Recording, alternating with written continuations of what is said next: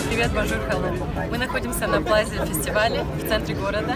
Сегодня здесь проходит акция «Cuisine ta ville», где можно попробовать еду различных народностей. Иммигранты и беженцы представляют их еду и рассказывают об их э, опыте и как они попали в Канаду. Сегодня мы пробуем еду из Анголы, Африка.